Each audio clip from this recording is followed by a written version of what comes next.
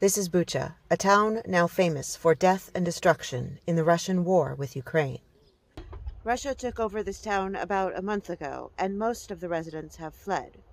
But of those who remain, hundreds have been killed. Survivors have buried many of the bodies in gardens like this one. Neighbors tell us one of the men buried here was shot on his way to a shelter.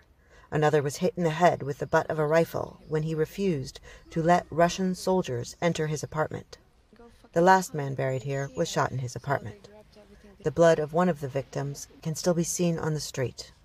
At this church, authorities have dug up the bodies of 20 other war victims who were buried here in this mass grave. So far, two have been identified, and most have gunfire or shrapnel wounds.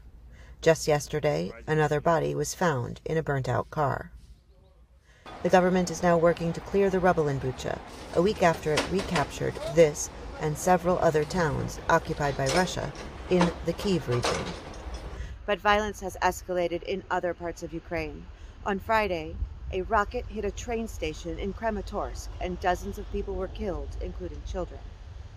The Ukrainian government has accused the Russian government of war crimes. Reporting from Bucha in Ukraine, Heather Murdock, VOA News.